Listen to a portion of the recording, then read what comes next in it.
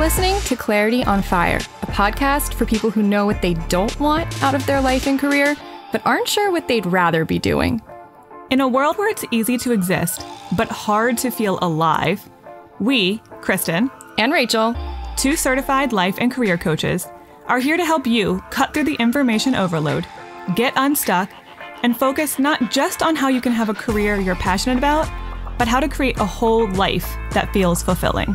So join us here, where we serve up inspiration and down to earth wisdom in a way that only two best friends can. We want you to experience the relief of knowing that, yes, you're allowed to want more out of your life and career.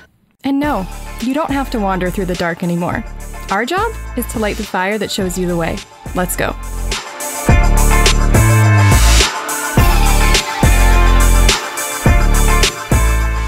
Hello. Hello. Well, fingers crossed that our audio sounds better today. We're in a different room that We are is much more padded. That I sounds think we're in weird. padded Well, I've actually-. Made an effort to make this room more soundproof. We're in the we're now in the nursery room in my parents' house, like the the children's room when uh assorted grandchildren.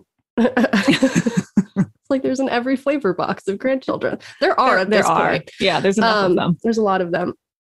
Um, none mine, but all you know, like quite a variety, a variety pack of grandchildren. Whenever um, they're here, which isn't really actually that often. I don't know why they need a whole friggin' room, but you know, grandparents do what they do. So anyway, I've I've draped this place in more blankets and blackout curtains, and even my laundry is hanging up in here for more sound. So apologies for the uh, echoey sound of our message from the universe, yeah, but we, we're, And then we're doing what we can. our dear Rachel was probably better because we didn't record that together. We recorded that separately from our because own. Rachel had COVID. because I had COVID and I'm fine now. It took me 10 days to test negative. I think that's normal. Yeah. Um, and my dad was still like, wash your hands. And I'm like, I don't have COVID anymore. And but like if you just want me to be clean and hygienic, I will wash my hands. But I think the not- CDC even says you can go back to work five days later after Yeah, I don't testing positive. I think that's really weird because when I took it six days later, it was still positive. My don't know how I test was still positive. So like I feel like they might have just decided, eh, well, I don't know. Let's just let them do it. And I'm not sure. jumpstart the economy, back I guess to work. whatever. Anyway, um, okay, so it's been such a long time since we've talked about anything else other than like coaching, enrollment, and before that, remember we did our short course promotion. But I just wanted to take this opportunity to bring up two things. One, you know, I love a rating and review, If you and I like new yet- ones. Yes, if you haven't yet, uh, please help help some sisters out. Take Mhm. a pause, and at the very least, hit that five star review. But I would so really lazy. love. Give me a review. I would really love a real review. Yeah, if you like this podcast and you've been benefiting from all of its free wisdom, put a dollar in the tip jar in the way of giving us a But it rating and won't review. even cost you any dollars. no, just That's what's time. best. Time is money. And I know that we have had several people find us because they it helps our algorithm. When you give us a rating and review, it helps more people find us. And then when Yeah. they read the reviews, they say, "Oh, this might be actually worth listening to." And we've had some people who found us and love us because of your reviews. So Yeah. that would be we would be eternally grateful if you would help us out. Eternally. Well, why not? I mean, I guess they can't prove that I'm not, you know. There's no way to measure that. It's eternity. Um, so there's that. And then also wanted to remind you, because we haven't talked about this in a while, that we have a Patreon community. And I am going to be releasing the next episode. I'm actually kind of behind on this. I meant to do it last month, but then I got COVID.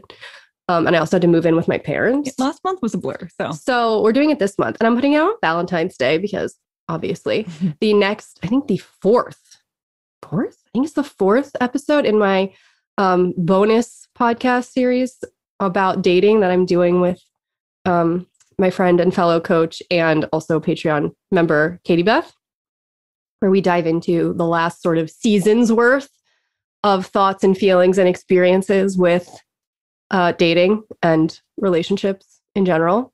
Um, I have a feeling that there's going to be some wild tales. you know some in of this them one. already. Yeah, well, and I'm going to get into everything that's happened for me since October, Mm-hmm. which, if you'll recall, Kristen, not everyone listening because you don't know, but you might know on Monday if you listen to that episode. um, there are some updates. yes. There are some things that I had to do uh in the past few months that were interesting. So, teaser. um, anyway, that's a series that I do. I also will next month have the next episode in my series I do with um friend Alex, who's uh the community our community ambassador of our Patreon group around uh, quitting jobs. She quit Mhm. her job last summer. I quit my part-time gig last spring. I guess it was almost 9 months ago now. And the journey and the ups and downs associated with deciding "Mm, I'm going to leave my job. which is highly relevant right now. Yeah. With so many people, historic numbers of people quitting their jobs. So if that's you, Uh, some of you, I'm sure, just Yep. statistically, then that might be something very relevant to your situation right now. So just If you like bonus content, $3 a month, that's it. Gets you access to any bonus content we put out, which we do on a mostly monthly, sometimes a little more infrequently. It just depends on what's going on. and then in our both of the series that you described are quarterly. Yeah, we do those quarterly. But I'm saying it's every month we put out some, typically every month we put out some piece of bonus content Yep. episode of some kind. And that's just three three bucks a month. If you do the six bucks a month tier, you get that. But then you also get access to our monthly community hangouts, which are usually hosted by our community ambassador, Alex. And every month we have a different sort of theme or reason for get together. So we've done breath work, like workshops before. Mhm. We've done like last month we did like a core like a coming up with your core desired feelings thing. We've talked Mhm. about we did a tarot one. That was fun Mhm. Recently where we kind of looked at the tarot predictions for the year ahead. And then quarterly we do a Crachel hangout Which with me and Kristen. this month. That's true. We actually have a Crachel hangout live on Thursday the 17th in the evening at So 7 if you Eastern. join in the next week or so, you, can, get you can the, do that too. You get the dating, the latest data, dating, Well, you also get all of the episodes we've ever all the previous ones, and you'll be there in time to do our most recent Rachel hangout, which otherwise you'll have to wait three more months. which is just a live hour long thing where people join and ask us anything and we dive into so many different questions and topics and is always really interesting And, and, productive we also have a a Discord where people can, and there's usually people chatting every day. every day. There's a section in there for friend dates. So I know some of you, because I've talked to some of my clients who one of their New Year's intentions is to feel more connected and make some more friendships because they've been feeling isolated since the pandemic. So if you want to connect with people who Are of like the- mind. clearly they're all you're all here together for some kind of similar reason you have something in common already then you might find some friends in there it's already happening Yeah. so come join us All that for six bucks. So link to our Patreon is in the show notes, or you can just go to patreon.com slash clarity on fire and join us. Um, okay. Here we are for another normal person episode with one of my former clients, Samantha. you want to give a 30 second teaser for it Well, we start out talking about, um, as is common in normal person interviews, sort of the when everything fell apart, like the Mhm. tower in the tarot moment. We talk about it as her tower moment, Mhm. moments, plural. There were multiple of them. Um, and then how she, I don't know, like came back from that, but not just came back, but thrived Mhm. and and then we talked about how she decided to do her own version of an eat pray love journey but not going anywhere staying at home because of covid she literally couldn't go Right. anywhere because um, melbourne australia is has been one of the most locked down places in the world and so she couldn't literally could not leave the city but decided to still do like her own version of eat pray love without going anywhere which was really interesting so we talked about that a Mm. lot too i'm excited for that part yeah. Okay. So you want to read her bio for Yeah. a more formal intro? Okay. Samantha discovered Clarity on Fire after Googling what to do when you don't know what to do with your life. You are not alone, Samantha. a lot of people find us that way. Yeah. And thanks to that Google search, she now lives a life that is much more aligned with who she is, which is a classic thriver, Virgo, type 6, and Ravenclaw. Mm-hmm. After spending her 20s living in Asia, Europe, and even a br- brief stint in the Arctic Circle, she now calls Melbourne, Australia home, mainly for its UNESCO City of Literature status, dedication to arts and culture, and Victorian architecture. By day, she is a media and communications manager at a charity that helps Aboriginal children and youth complete their education and transition into their dream career. What a cool job. Mm-hmm. Yeah. She got that job um, while we were coaching last time, and we we talked about that too. So uh, this is a long one. There's lots, lots of juicy stuff in here. So um, enjoy, and we will come back to say goodbye to you more formally at the end. Hello, Samantha. Hello, Rachel. We we're having a good time already because we're laughing about how opposite we look right now. Like Samantha's in this yes. very cute little sundress, and it's 95 degrees or Fahrenheit uh, in Australia right now. yeah, 35 and, like 35 degrees for the Celsius people as well. It, in other words, it's it's it's freaking hot. It's balls hot right now. Um, and I'm like looking out my window, and you know, it was there's snow on the ground in yeah. I want to dive right in that now. snow. Yeah. I might just fantasize Rachel about that snow, and I might I'm just like diving into it. So uh, yeah, um, we're going through a crazy heat wave at the moment. So that's I just that's wild. And I'm sitting here like, you know, still having COVID bundled up in my sweater. I mean, you can get COVID anywhere, anytime, but it feels like a winter thing to be sick. Yes, you know, yeah. There's, there's, plenty of people getting COVID here in the middle of summer as well. Um, but yeah, and I'm, it's Wednesday for me too. It's still still Tuesday where you That's are. Right, so. Tuesday night, right? Um, mm-hmm. Speaking of COVID, I actually feel like that's a good segue into like what we were talking about before we hit record, which is when does this story really begin? Because it's hard when I'm talking about someone's life, there, and we can't literally go from day one. Um, it's hard to figure out where do we start telling your story. And you said, I honestly think it kind of begins at the beginning of 2020, which was sort mm. of the prelude to some tower moments, tower being that card in the tarot where everything falls apart that I had. So but really the big thing that you were just telling me started before even the pandemic which was the fires in australia yeah. Yeah, I think um, you'll probably remember because it made global headlines. Um, it, I mean, it was Australia, a huge, it was a huge deal. Like, it was heartbreaking. Like half the country, half the yeah. country was on fire.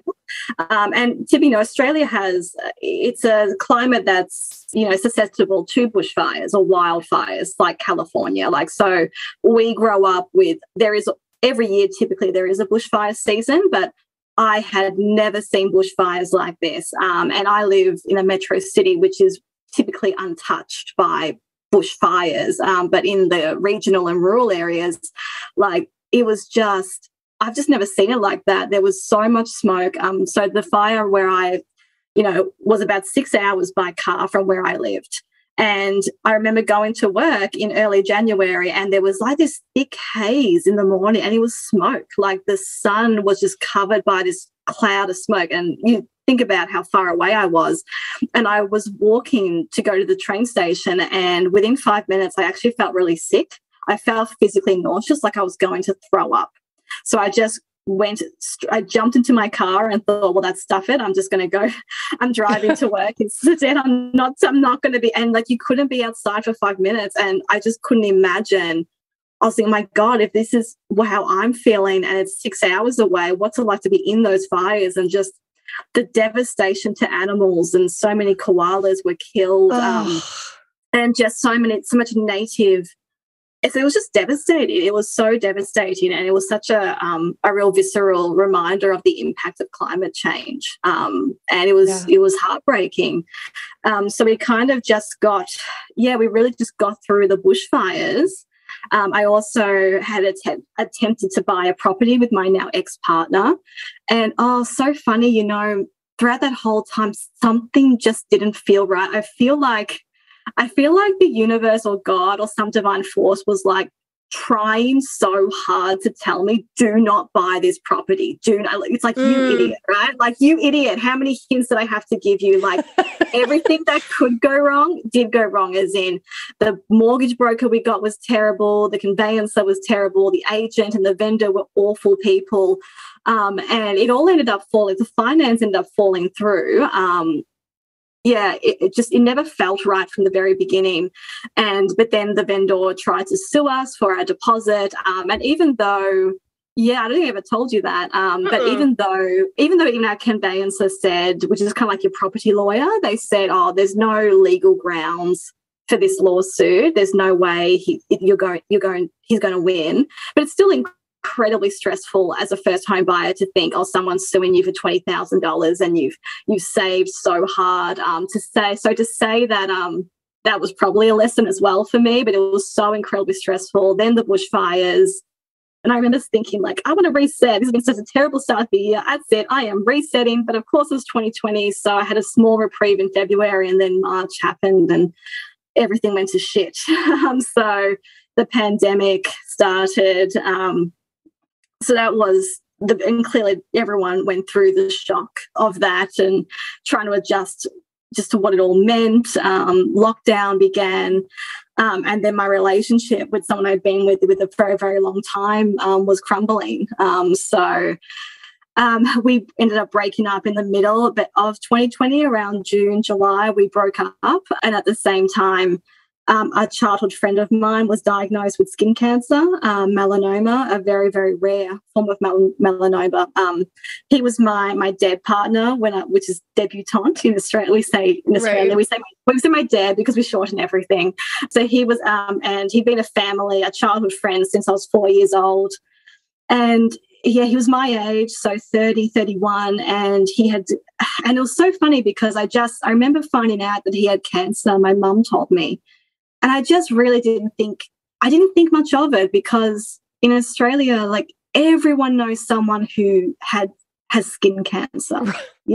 Right. You know, honestly, like, yeah. It's the skin cancer. It's the skin cancer capital of the world. Um, yeah, this this climate's not really made for fair skinned people, and and most so many times melanoma is not that big of a deal as in we, we're taught how to watch out for any moles that look suspicious and typically if you, you just so many times people just cut it out right? They cut it out and might need a bit of treatment but it's typically not always a big deal and i just believed so so strongly that he was going to be okay um, and then he just it was such it was such a rare form he had and we were raising money for these really experiment like really expensive immunotherapy drugs and that was kind of his last chance and i believed so strongly it would work and it just didn't and i remember um I was probably getting a bit emotional even talking about it still, you know, like I remember like I think I had broken up with my partner. I was living alone. We were in lockdown, like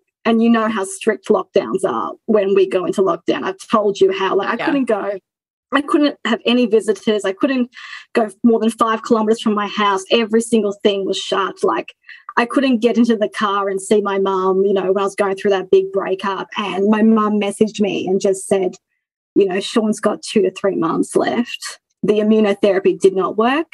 They think he's got two to three months. And I just like, I went to my bed. I went to bed. It was two o'clock in the afternoon and I just I just went to bed. It felt like someone had given me a sleeping pill. Like I felt like I was yeah. sedated or I was drugged. And yeah, he passed away, I think, June, July, just before he turned 31. And that was, yeah, that was that was probably the lowest point I think I've been probably in my entire life. Um, like the mental health impacts of being in a lockdown like that, like I would, rem- I remembered like every Sunday in morning at like clockwork, I would just start crying, and I would not even have a reason as to why. I would just start sobbing. Um, mm. yeah, so that was, yeah, that was really a tower moment of just immense proportions. Um, so I think that was probably my lowest point, the lowest point that I had uh, probably my entire life and even without the pandemic. So even remove the pandemic, it would still be. Yeah, of course it would. It, it, it would have still been a really tough, probably the toughest time in my, my life that I can recall. I mean, Um, any one of those things is like something you need a lot of time to recover from. And Yeah. you didn't get, you know, the pandemic in and of itself is emotionally difficult to deal with. I, you know, we all know that. I mean, the fires thing, that was traumatizing and scary. And I mean, even that like is is kind of a big is a big deal that maybe it wasn't in your backyard, but that's a big um, natural disaster that you need time to recover from. Didn't get that. Um, no. didn't get time to recover from your breakup before you know a childhood best friend passed away i mean like it's like you just kept getting hit and hit and hit and hit while you were down so of course like where else would you have ended up other than like the lowest point of Oh, of your yeah. life Yeah, yeah, absolutely. I kind of look back sometimes. I think when you look through a really hard time and you think, how did I get through that? Like, Yeah. how did I get through that? And I'm, I did. I'm clearly, I'm, I'm here. But yeah, it, it, like often when I tell people that they just their jaws kind of drop, like, whoa, what? And it's like, oh wow, that that's a lot to happen all at once, a lot to go through. yeah Um, yeah, yeah. just so a little bit just a little bit like people like they go what like so yeah um yes that's i guess i don't really know of where to go forward from there no, that no. was yeah, yeah like um, i have ideas i just wanted i wanted people to understand what you've been through just in Mm. the past couple years to give you know an idea of the scope of you know when you say i've recovered from some hard stuff like they can understand that yes it was some really hard stuff. Um yes. so when did you and i start talking again? How soon after that?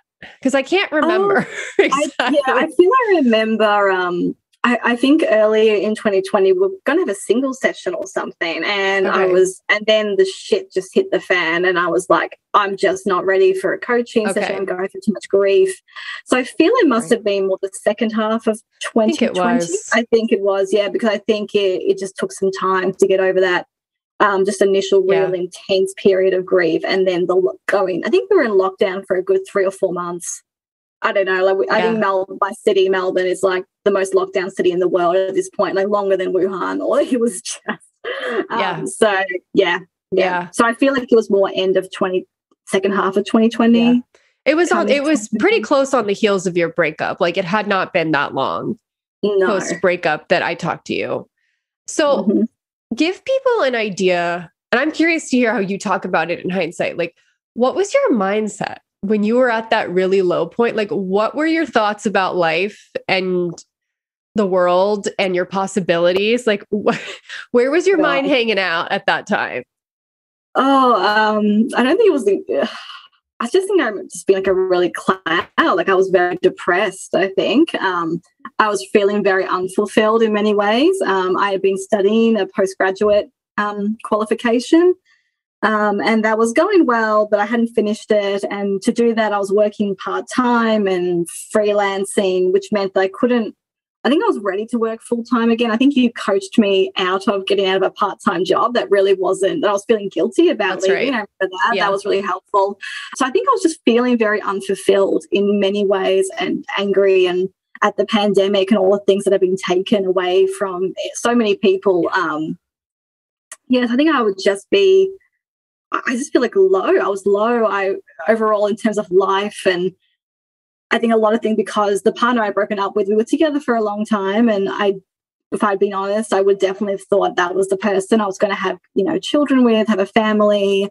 Um, and that was very clear that was not going to happen. Um, and yeah, I guess um, Well, and you just turned 30 too. So there's also this milestone, so, oh, like, yeah, right? Like I'm 30 Yeah. now and and oh, and now I'm single and I thought that I was going to have kids with this person and now I'm like starting over and that was another layer. Oh, exactly. Yeah, exactly. Absolutely. Um, yeah, definitely. Um, I, I, when I turned 30 in September of 2019, I was actually really happy. Um, like I was with that person and I had a Harry Potter Wow. party to celebrate my birthday. Oh. Which was so my 30th, which was just so much fun. And that was, yeah, kind of towards the end of 2019. And then just everything just changed. 6 months later, boom, like all this stuff had changed. mhm, yeah, yeah. That's oh, um, I mean, things can change quickly, both in good ways and not so good ways. Um, Absolutely. everything in between. Okay, so I I mean, I don't know how how else you would be feeling other than low, you know, after the after all of that, but it just I know from very real lived experience that when a bunch of stuff like that happens to you, you start to wonder am I the common denominator of all of this crap happening to me? Like you start to wonder. Sometimes you'll get into victim mode and you'll be like, why is this mm. happening to me? Or even if you're not consciously thinking thoughts quite like that, you'll still be feeling at the effect of all of this stuff that's happening to you. And it'll start to warp your thinking to the point where, I mean, I know in, in, in similar circumstances, I've been like, well, I guess nothing you know, I guess I'm not going to be able to find another good job, or I guess I'm never going to be able to like mm. buy a house, or maybe I'll never find a partner. Like it starts to warp. Yeah. It starts to warp your thinking. Yeah, absolutely. And I think, um, you know, because I remember I, I think it was the day that I spoke that I found out that my friend was going to die, um, and I just couldn't stop crying. And I hadn't. Um, I was working that day, my part time job, and I was just like, I can't work today. I need the day no, off. Um, no. And I, my, no one knew about my breakup at that point. Um, and then my boss, yeah, she, I, I, said to my boss, I just need to talk. I, I, need to talk to you. I've had some really bad news. And so she called me and I told her that Sean's treatment hadn't worked. Um, and then I just started, I blurted everything out, right? Like I just blurted like I've broken up with um, my with my ex. He's moved out. Um, and it's kind of funny because she, it's kind of weird that I kind of met her, even though I didn't, um, I only worked for her for a couple of years. And I was talking about how sad I was and, and what the reasons that led to the breakup, which she felt were very, very valid for why we had broken up. And I just thought oh, it's really hard. You know, I'm 30 and I want to have kids. And it's really hard when you want to have kids to have broken up with a partner at this stage. And she said to me, Sweetheart, I was 32 and I was getting a divorce. I was mm-hmm. getting, and I put up with so much crap because I thought, oh my God, I'm 32. If I leave this marriage, I'll never have children. And then six years later, she is remarried. She had twins, a boy and a girl. Um, mm-hmm. She's, you know, got to build a successful business, lives in a mansion. So clearly it's done. so like, and she said, you know, you you know, if it's not right, you walk away. Um, so that yeah. was, yeah. So I think that was a, a moment of like, yeah, I knew it wasn't. And also, I remember this as well. Like, I was just walking, walking on my lunch break, and I think I'd found out that Sean was going to pass away in a couple of months' time. And I just thought to myself, life's too fucking short. It's just yeah. too fucking short. And I just knew that whatever comes next, I just can't stay in what this relationship has become and what it is now. And I'd be lying if I actually said, I'd be really happy and excited to have a relationship or have a part, have a baby with this person, mm. with how the relationship is now. You know, I can fantasize about I want it to be different, but it it's not. You know, um, so that was it. You know, I walked walked away. That takes a lot of guts. You know. Yeah, yeah. it, it did. It was it brave. Does. No, thank you. Um, you know, I think what happened. I mean, so there are some things you exerted control over, like your relationship, you know, choosing to walk away from that. But that doesn't mean that you didn't question your decision, because I know that any breakup, mm-hmm. usually you're going to question at least one time did I do the right thing? But oh, of course, yeah. A lot of the things that happened to you, you know, were totally outside the realm of your control. And I feel like when that happens, often the response, it's kind of a knee jerk response, is let me exert control over anything that I can exert control over. So in times mm. like that, sometimes we'll, we'll become, and it, it can be healthy sometimes, and it can also veer mm. into unhealthy territory. But sometimes we'll exert control over things like our career because it feels like the one thing that I might be able to actually do something about in this world of mm. like the pandemic, which I can't do anything about. Or, um, you know, maybe like you feel like I can't I can't like get married tomorrow, even if that's what I want. So I'll, you know, I'll exert control over whatever else I can to kind of make up for where I feel out of control. And I feel like in a I think in a healthy way, you decided to take control over what you could. And so you mm. did end up leaving that part time job that you had. Yes. I and did. you actually ended um, up getting a much better job. Like, oh my God. Yeah. It was um, believed was possible at some point earlier no. in my experience of knowing you.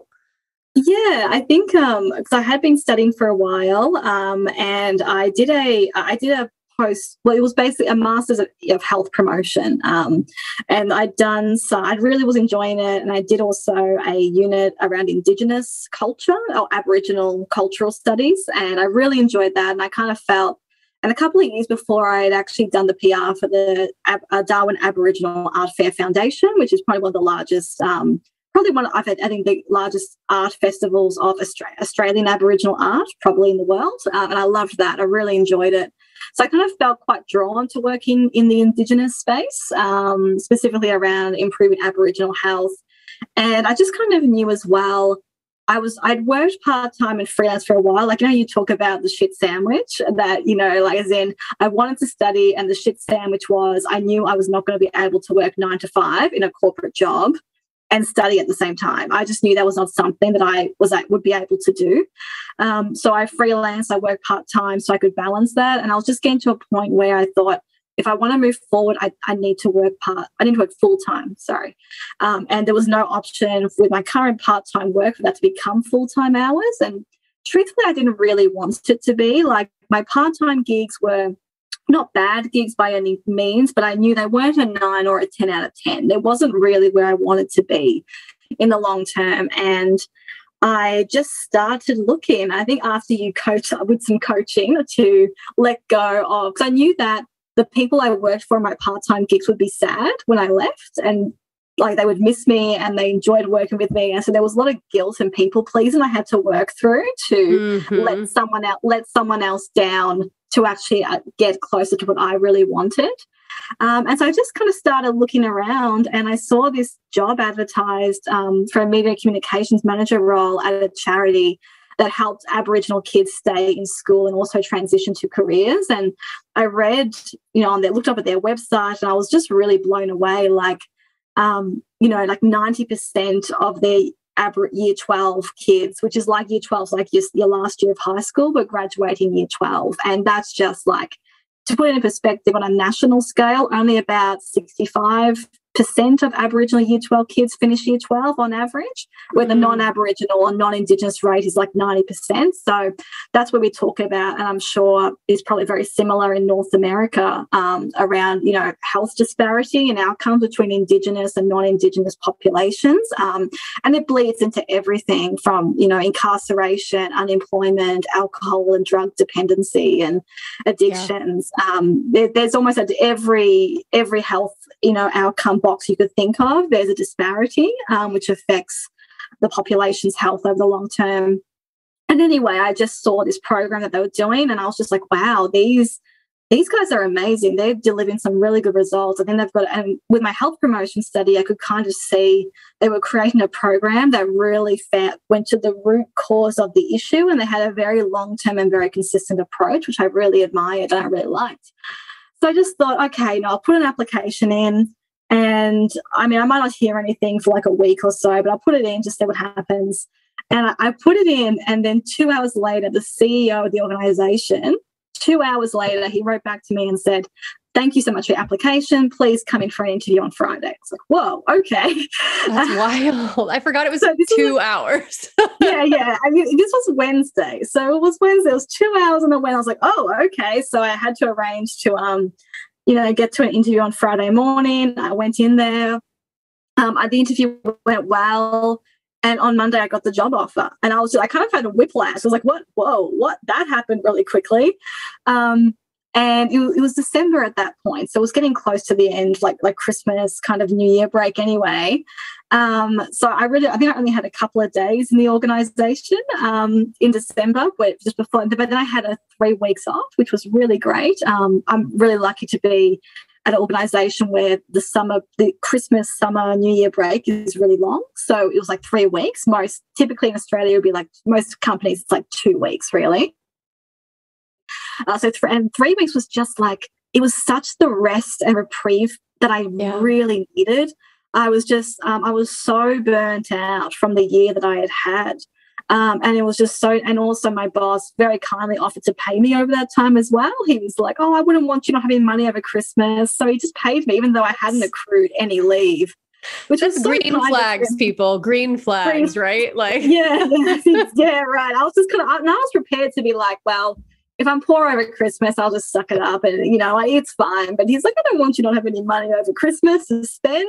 So he just paid me, um, which was very kind. Um, and it just allowed me to just really like, I went back to my hometown and I just chilled in, you know, region, my reach, the regional country town with I grew up in with my mom and my brother, who I couldn't see throughout the whole of lockdown. Like you can't go more than five kilometers from your house. And they even put here, they put a ring of steel around metropolitan Melbourne, which basically meant you, if you lived in metropolitan Melbourne, you are not allowed to go outside of Metro Melbourne. Like you would risk an $1,800 fine. Like it was serious. So it's like, like, so I only, I think if you would have to apply for a compassionate exemption if someone you right. love is dying you needed like you know papers to go to right. funerals. Like so it was a matter i couldn't see them for months like and being with with them in person. So yeah it was just what i needed and it was so lovely to just you know i just that rest period was really really important. And i think at that point we might have been talking about rereading Eat, Pray, Love. I think it came up. In yeah. Our, did it come up in one of our conversations? Or? It must have. I don't remember exactly how it came up. I think, I think I must have told you. If you hadn't read it before, had you read it before? I did. I read it in my early twenties. Okay, I like, so I was. Okay, okay. So I was telling you, I think it's time for you to reread it because I, I just could maybe I could tell you were at that point. Well, you just gone through a big breakup and now you're in your your early 30s and um, you know, you're asking yourself some existential questions about what do I want out of my life. And it just felt like the right time for you to read a book that's about all of those mm. things. Um, but also because I remember you saying that you felt the urge to travel, but like you couldn't do it because you were like literally stuck at home and you were mm. feeling stifled. And then you read this book and you were like well i i mean i can't go anywhere but that doesn't mean that i can't create my own eat pray love. So now we have to talk about how you did that while staying at home. Yeah yeah. Well i guess it it can, i don't yeah i don't remember how we started talking about eat pray love. Um and i had read it in my early 20s and i was just at the time when i read it i just thought it was fine it was a pleasant read. There was nothing bad about it. There was nothing amazing about it. I just think I was too young to really understand why that book was impacting so many people, particularly women, in such a profound and deep way. Um, yeah, I was I read it while I was traveling in Italy because I just thought it would be fun to read a book partially set in Italy when I was in Italy. Um, and I just mm-hmm. thought it was and I just remember feeling because I must have been what 21, 22 at the time, and Liz Gilbert just seemed like she was a real grown up. You know, she was so not old but older. Like she was like a real grown up, and it just quite shocked me when I went and picked it up again that she's only thirty one in that when it starts. And I, I know it starts, and I'm like, wait a minute. I'm 31 and she right. got married when she was 25, which is like a very reasonable age to get married. But I don't know whether it's also because I feel the movie, I feel Julia Roberts was a lot older than. Yeah, she that, was in her like, 40s already. Yeah. Yeah, exactly. So I think in my head, she just seemed like a real grown up and I didn't relate to it as much. But now knowing, like, I can definitely relate to how brave that was for her to leave, you know, to say, choose to not have a child, to leave that marriage in her early 30s that I was just like, well, wait a minute, I'm 31. I'm kind of going through something similar. I think it's time to sit down and reread it. And I found this beautiful um, edition of it um, in the bookstore. Um, it was like a blues, like a modern classics cover, and it was so beautiful. And as I was rereading it, I was just highlighting so many passages. Like there's just, I think people write that book off a lot. Um, they do. Just kind of as this narcissist, this like, you know, white lady indulgent yeah. first world problems um yeah but it's so much there's so much depth to it and i don't know whether it's because I know I have a theory that if something's like passionately loved, it's also going to be passionately hated. Like it's kind of I the agree. flip side of the Yeah. coin. Um, so I reading it now at this stage of my life, I just loved it. I just was so absorbed in it. I found it so inspiring, and I couldn't stop highlighting passages in it. And I just kind of sort of had this idea. Um, it must have been early 2021 because I think we had gone past the first quarter of 2021. So um, I kind of just started back in this in this full time job. Um, things where we were kind of hoping the pandemic was behind us. Well, that's you know maybe that didn't happen. Um, but I just started thinking about oh, I really like this idea of kind of being um, dedication, like kind of dedicating like a almost like my own version of Eat, Pray, Love for the rest of the year because at that point there was nine months left of the year. Um, Right, and so you I had like three, you were thinking like three, three month intervals yeah, like or something. quarter- intervals, yeah, three Yeah. quarters. Is um, and because she divided her own year into three, I guess for her it would have been in four months. It but was four months, coming- yeah. yeah, yeah. But I was coming up to, I kind of finished the first quarter of the year. Um, and I was kind of thinking how you know, I mean, those things like I, I did have at the time like a deposit for a for a, the equivalent for a deposit for a for a house in my bank account, and you know. If, there wasn't a pandemic, I could have taken that money and traveled all around the world, eat, pray, love style. I literally couldn't because the borders were shut, and so you needed an ex- you needed a literal exemption to leave the country. So, and there was also and as you know, borders were shutting absolutely everywhere, all over the world. There was absolutely no guarantee if you left Australia that the government would let you back in because there was very strict, um, like caps on how many international arrivals could come to the country. So it was pragmatic, practically, it was not an option for me at all. It just wasn't. It wasn't feasible. But even if it was, I don't think I would have done it anyway. Um, I just knew I didn't actually want to spend that money that I'd saved so much, so hard for, with the intention of buying a, a house with it one day.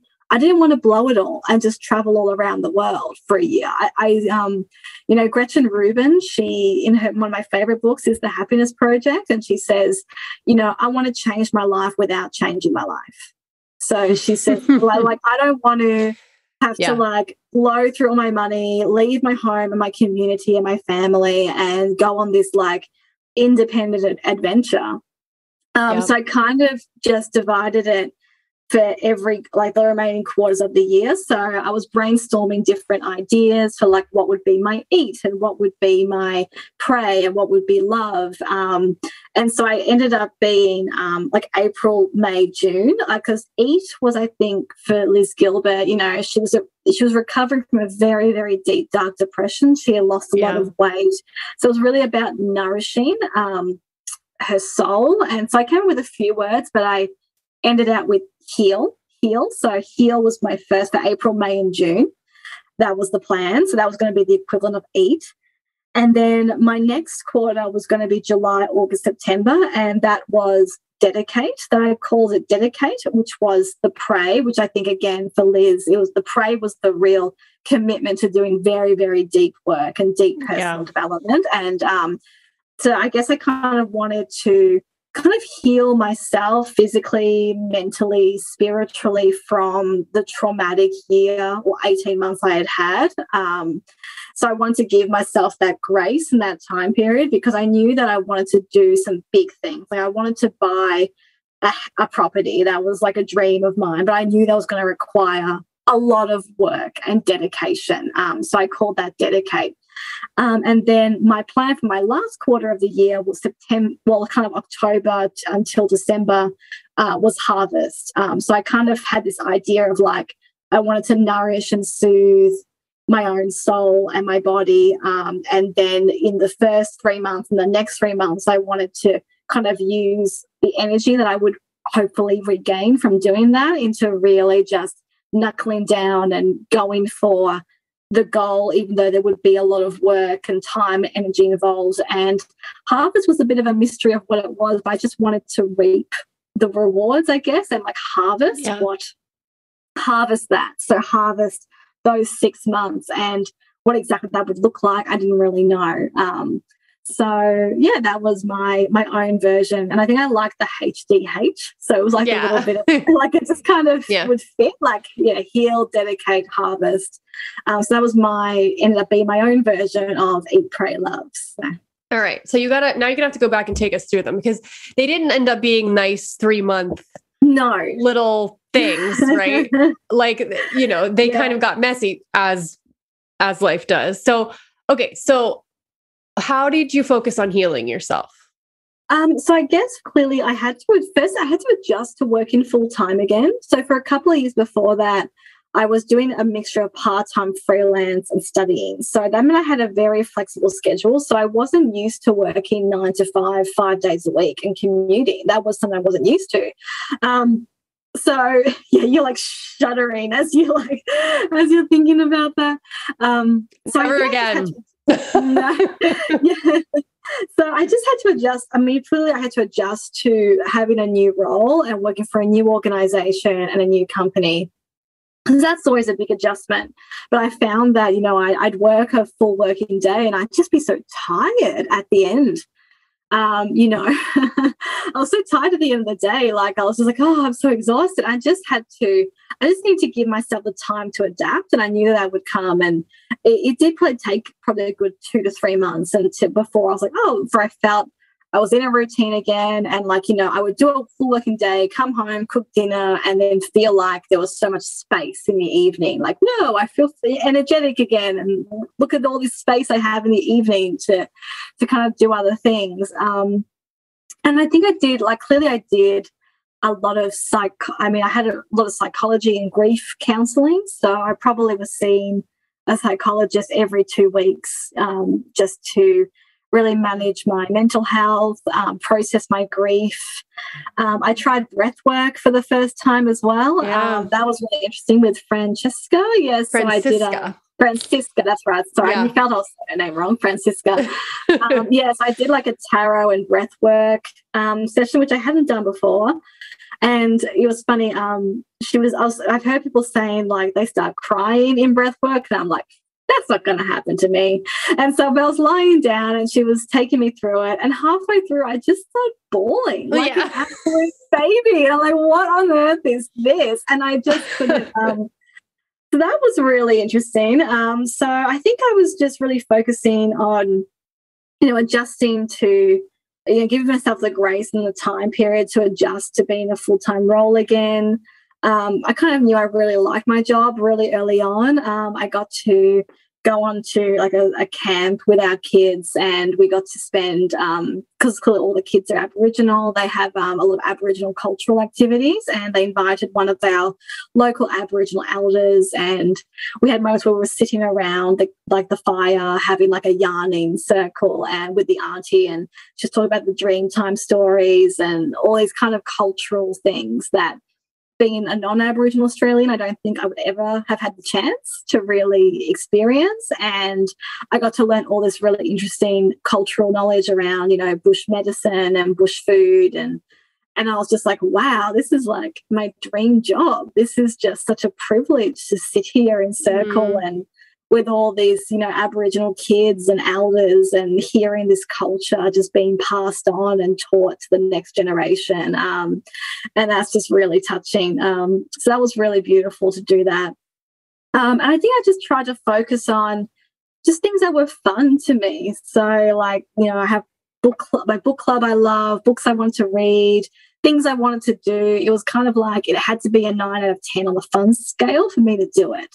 Um, so I just wanted to really nourish myself um, and not put pressure on myself to really do anything I didn't really want to do. Um, and clearly, I wanted to focus on, you know, really healing myself as well. So I wanted to so do the breath work, do the psychology and the grief counseling, um, just as much as it really took.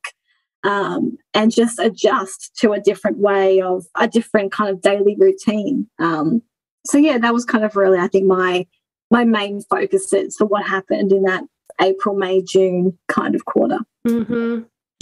You know, healing is its own kind of dedication.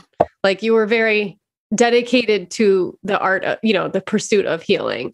But the difference, I think, between how you're defining heal and dedicate is that heal to you is this very feminine energy. right? It was like mm. ease and rest and like restoration of your mm. body mm. and your mind and your spirit and like giving yourself like you said grace and patience to allow yourself to sort of come back online or like mm. blossom a little bit again um, yeah definitely mm. and then mm-hmm. dedicate was a little bit more masculine energy at least that's how it sounds when you oh. describe oh. it it was more doing right absolutely yeah and i think okay. i remember as well because I was journaling a lot throughout this process. And I do remember writing, I think I wrote to you that my heal quarter was ending towards the end of June. And clearly here that's the winter solstice time. So mm-hmm. the winter solstice is really is the is the shortest day and the longest night of the year. So it's the darkest time. Um, and it just but then from the next day, it's like we kind of talk about with the winter solstice that the day afterwards you have that little spark that little spark of light comes back mm-hmm. and it's and, and the sun just gets stronger and stronger and stronger um, so yeah now i think about it april may june is our time of the year where it gets darker and darker and darker which is like the moon and the night we do associate with the feminine the sacred feminine of feminine right. energy uh, where the sun is where the masculine energy so right. from early end of June, early July, I was actually getting um, it was the sun was growing stronger and stronger, and I feel at that time I absolutely needed that masculine energy. I needed to have that more sun, fire, more masculine pursuit of things. So I needed to be much more in my like yang kind of um, um, what would you call it like aspect of the self like we all have that yin and yang aspect of the self so i needed to be more in my yang quarter or side yeah. so give us a little debrief about what dedicate was about what, what did you do well it's interesting i thought i was going to go back to study. I thought I was, so I thought a part of actually my heal quarter was I took a semester off my uh, master's study. Um, so I had finished, I think, all of the core units and I'd also done a couple of electives. And I remember kind of sitting down in early July, ready to, you know, start studying again. And I just, I just didn't want to do it. I enrolled in only one subject and I was just kind of like sitting there on a Saturday and looking at my 40 minute lecture, checking it every five minutes to see when it was ending. And I was just like, I don't want to do this. I felt like my study was actually really purposeful when I did it. And I think it actually led me to being in the job I am now. But I really done enough. Like I had six more units of study to do to complete the course. And I was just, I just knew I didn't want to do it. Um, and I actually looked up and found that I could actually exit my master's and get a postgraduate diploma instead of a master's degree. Um, so that was that ended. So I thought Dedicate was going to be around that learning. Um, and instead, I actually won a place in a very intense um, personal development program with this amazing dating and relationships coach called Belinda Bailey. And she runs a program called the Love Codes and it was starting around July again, and it was a good 12 weeks.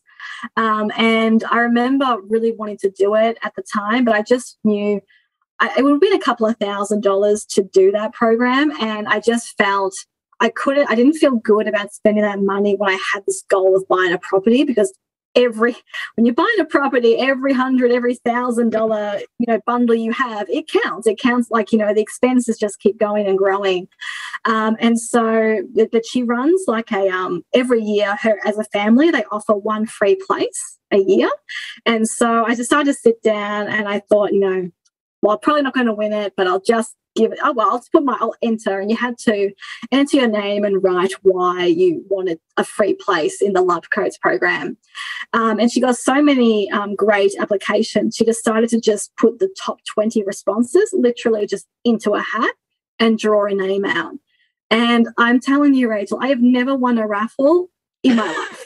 I have never been that person whose name is drawn out of a hat. Never. And um, I logged onto Instagram and she had tagged me in the post and she had, I'd actually won.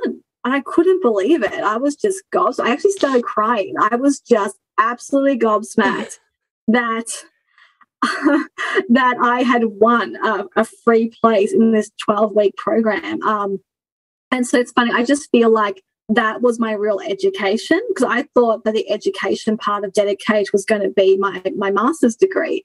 Yeah. But instead, it was this program which I would only describe as the artist way for love, relationships, and dating. Like this is was this would not like I am not a personal development virgin by any means, and this just this was intense. Like this was really brought up so much stuff. It was it was challenging, but in a really good way. Um, and it just felt like such a wonderful thing um, to have to have won. And it was something I really did have to dedicate myself to. Um, and in July, I also met with a bank, met, and this time so funny. Like this time, the meeting with the bank went so well. Like I had the most lovely banking manager. My mum was on the phone with me. He was so kind, calm, patient. Um, he he explained everything really well. I just had compared to the first time I tried to buy a property, this time it was just like everything was kind of going so smoothly. Um, until of course lockdown freaking hit thanks covid so mm-hmm. um so that put a spanner in the works. Um, so then, yeah, I think I was at a point where I was doing this love coach program. So That was really great, but really challenging. Um, and then I went um, to the bank um, meeting, but then we went to hard lockdown and I didn't want to go for an official pre approval. So basically, once you have your pre approval, you can start shopping. The bank is basically saying, this is the money we will lend you. And it didn't, I didn't feel comfortable looking for houses um, with a pre, and also, but in at least in Australia, pre approvals are valid for 90 days. Um, so I was had the meeting with July, considered getting a pre-approval, and then August we went to hard lockdown. And hard lockdown, of course, meant you were not allowed to inspect any properties in person. You could only do virtual inspections, and I didn't really feel comfortable. Like I wasn't going to buy a place I couldn't physically walk into and see. Um, so that wasn't going to happen. So that's um, then we're back to oh, I feel it's another good three months of hard lockdown as well. Um, so that was a really frustrating time as well. So I was like, hey, this is my dedicate July, it's now September. I haven't been able to do much. Um, so that was, yeah, that just kind of extended the dedicate quarter by quite a bit, I think. Yeah.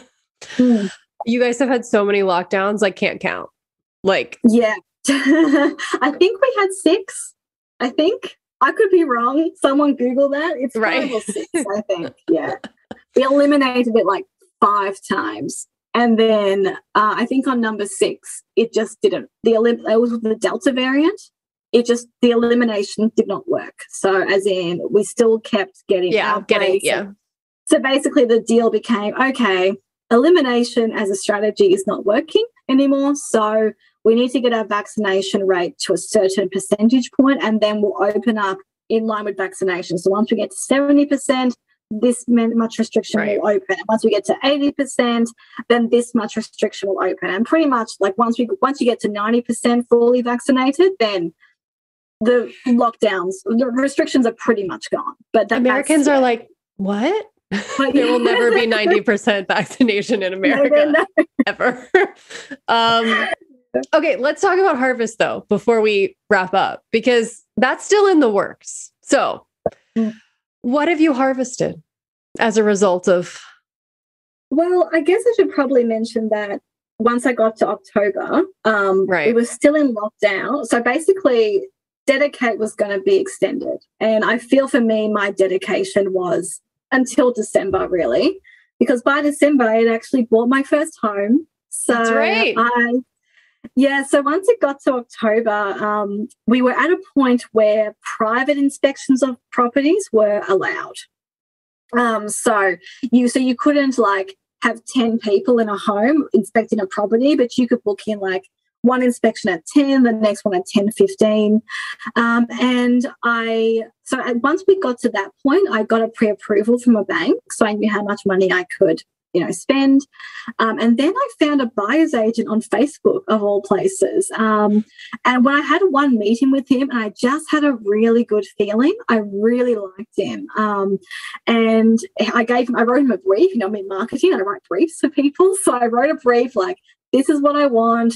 This is what i'm looking for. These are my deal breakers. These are my must haves um, this is my wish list. And within two weeks he honestly found me my dream apartment Mm. Like this was a place like it was just um, this beautiful two bedroom apartment, only eight kilometers from the city. It the the master bedroom has an ensuite plus a private balcony, and like yeah, there's a main balcony off the lounge room, um, but there's a private balcony as well. Um, there's it's so that the estate is just so green. It's really quite like it's really close to a, it's across the road from a major shopping center, which means I have absolutely everything at my fingertips. Like I'm gonna go like after like after this, I'm just going across the road to do some um, shopping and stuff for myself. Um, yes, so uh, which is really good. It's like, like like anything. I want to go to the movies. It's across the road. It's, I'm there in not even five minutes. Um, so it was the cool, it's the coolest location, um, and it just all went so smoothly. Like everything just it was just like dominoes falling over. It was just so there was so much ease to it. And I mean, don't get me wrong, I was shitting myself throughout this entire process. Like I had some major upper limit problems here where I felt yeah. sick, I felt nauseous. Um, but I remember I, I re-listened to a podcast episode you did about when do you know it's intuition and when it's it's anxiety? And if i put the filter of okay if i could just make this property purchase disappear would i take it? And the answer was no no i want my property. I want this apartment. Don't take it away from me. Right. and so i kind right. of knew oh okay i'm just hitting a dream i've had since i was 15 years old and that's scary to reach that you know? Mm-hmm. um, so that meant that for the next that for the whole last six months of the year i was just I think I remember, I think we were meant to have this interview in December, and I was like, Rachel, I am not harvesting. I'm plowing the fucking fields right now. Like this is like this is. I am so tired. Like I am because I'm working full time. I'm packing house. I'm buying. I'm you know. There's so many steps. It's all so new to me, and I was just like, Rachel, we need. Uh, I'll talk to you in the new year, so I will have to delay. um, so I was moving over Christmas. So I didn't have much of a break um, over that, but and I'm still like like I have my home property, my housemate agreed to move in with me and be my tenant, which is really great. So I've got some, I've got company as well, and I'm adjusting to living in a new suburb. Um, but I really love it. Like it's so it's near the river and it's near this beautiful um, park as well. And they've done such a good job because it's just like whenever I go in there, there's like all this wildlife, like birds and insects. I can hear it. So like the wildlife, are, they've done a really good job where you can just hear the wildlife are drawn, you know, to mm-hmm. to the parks they've built. Um, so I know it's um. So I guess now, so I guess that's kind of my harvest. I think, I think it's been my harvest has been the healing. Um, as well because I didn't tell you this, but in December, I had a dream where I got back together with my ex and we oh, got wow. back to yeah, we got back together and we were engaged. And the ring was on my finger, but I really wasn't happy about it.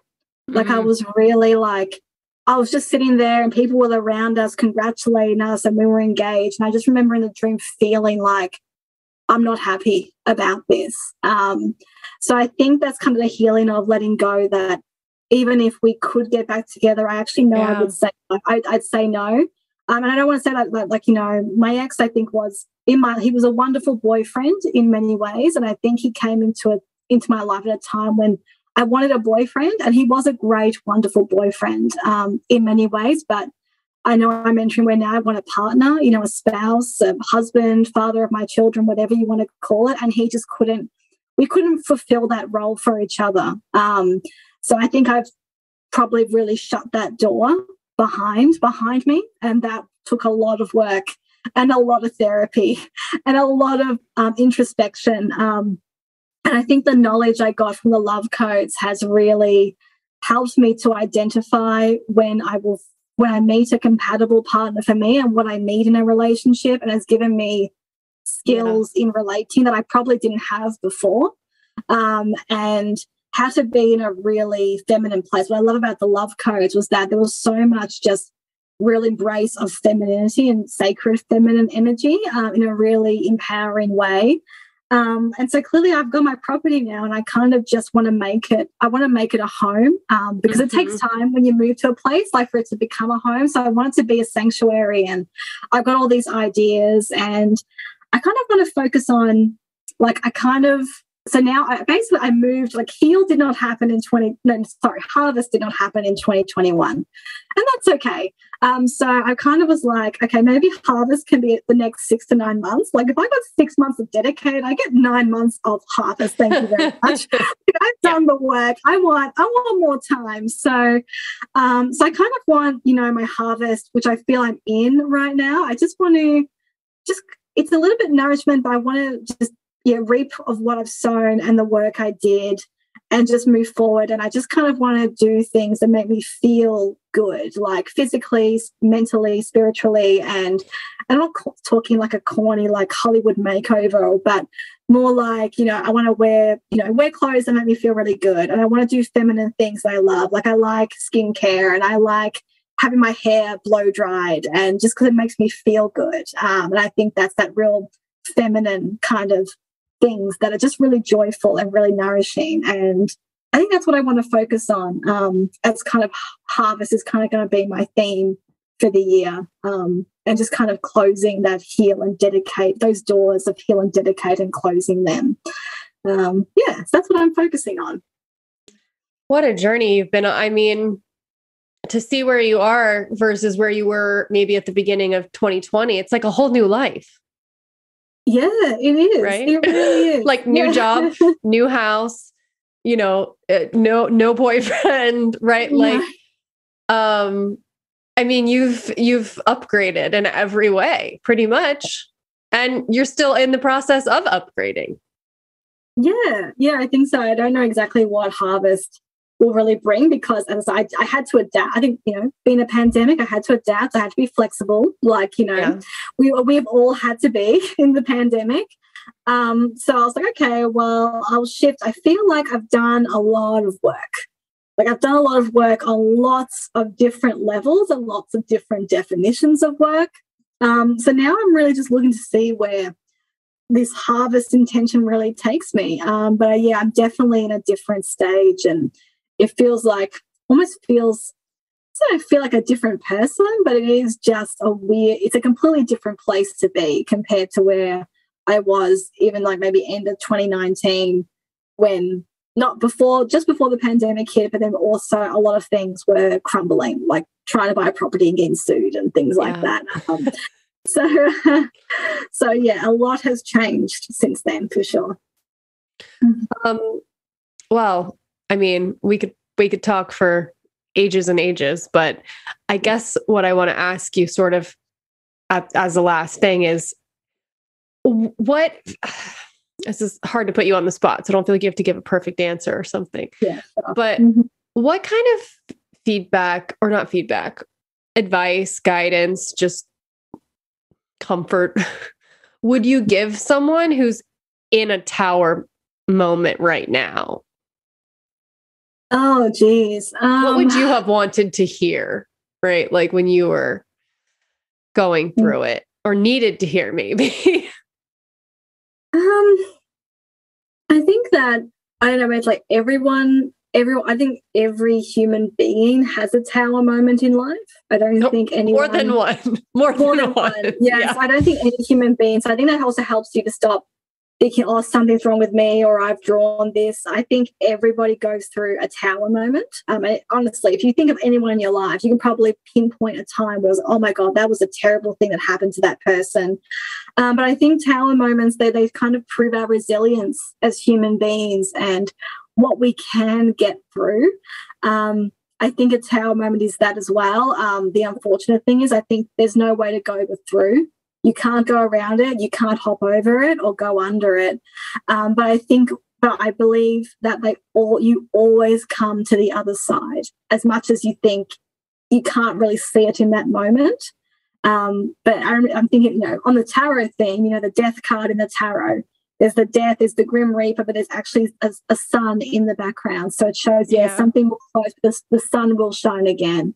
Um, so yeah, I think they a tower a tower moment can really strip you to your core, and it can really shake every foundation. Um, and they suck when they're happening. There's no doubt about that. But it will prove to you yourself how resilient you are.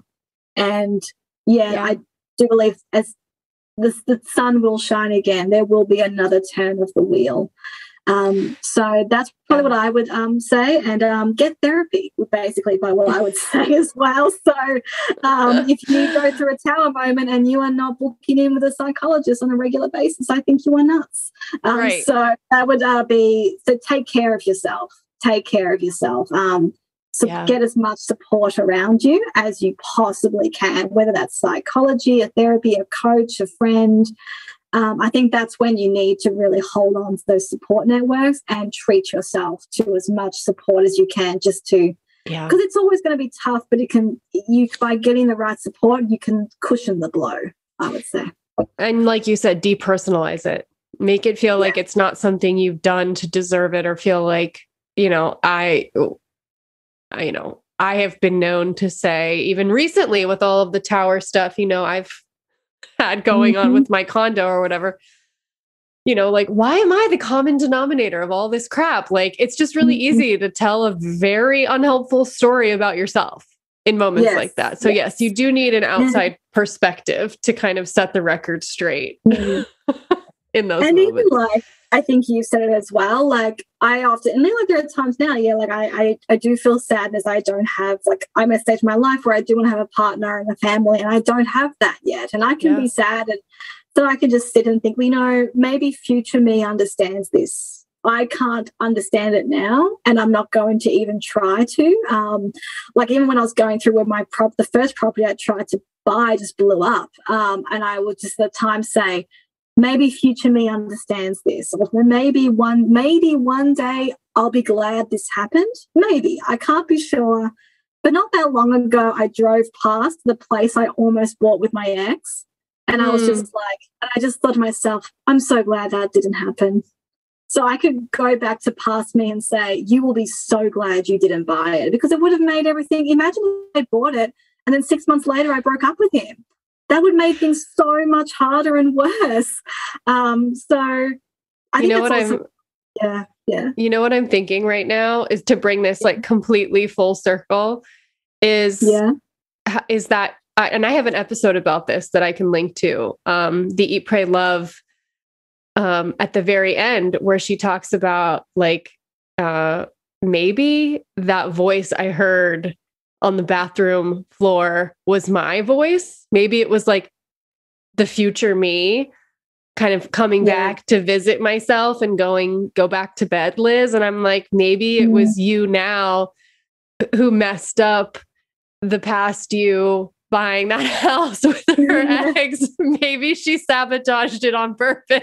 yeah. Oh my God, like uh, stop being such an idiot. Like when I give you so many hints to not do something, can you please listen? Can you please listen here? So, and you know what? It all worked out still, didn't it? Like, it was freaking horrible at the time, but I got so many hits, hints from the divine, at least I believe. Say, don't buy this, what don't do it. But it still worked out. Like, as in, I didn't buy that property. I didn't get sued. I kept my deposit. And right. now I got to use it on a property that I really like and I'm right. really happy with. Right. So you know, it can all still work out in a weird, funny way as well when you're going through those moments in your life. So, well, thank you for coming and telling this very epic tale. I feel like it's been a long time in the making because you and I have known each other what feels like a really long time now. Um, yes, I do remember. Yeah, Googling I, I was at a time just really unfulfilled with my career and I was just like, what do I do when I don't know what to do with my life? And your passion profile quiz came up and the rest is really history. So yeah. yeah. That's how many of our stories start, isn't it? Yes. Someone yes. takes to Google because they're having an existential crisis. Like, Siri, Thank God. Siri, Siri, hey Siri, what do I do right. with my life? Like, so right. that's um, pretty much it. Yes. Yeah. Yeah. Well, I can't wait to hear how the rest of your harvest goes and where this takes you. But I'm very happy yes, to see you. you Please do. I'm very happy to see you on the other side of your tower. And it's helping me right now remember that there that if there's one constant, it is that things change and mm-hmm. that you know, towers by nature just don't last forever, that there's going to be another phase. And yes, yes. you just got, I mean, you don't know how long you're going to have to wait or whatever, but it's going to happen. And I'm going to keep Mm-hmm. thinking about that in the moments I need to be reminded of that. So thank you. Oh, good. I'm glad. Yeah. All right. I'm well, glad it's helped you too. Yeah. hmm thank you. And I will talk to you soon. Sounds good. All right. Thanks, Rachel. Bye. Okay. All right. That's well, that. again, quick reminder because it's been, I don't know, an hour since we said it. Rating and review if you want to. If you really like this one, let us know. We always love, uh, we always love your feedback. It, it keeps us motivated to keep going. Praise is nice. Praise is always Not nice, necessary, but nice. but nice. You know, it's like a nice to have. It's not a need. It's nice to have. Um, okay, we will be back next Friday with a new side chat of some kind. I have no idea what it's about.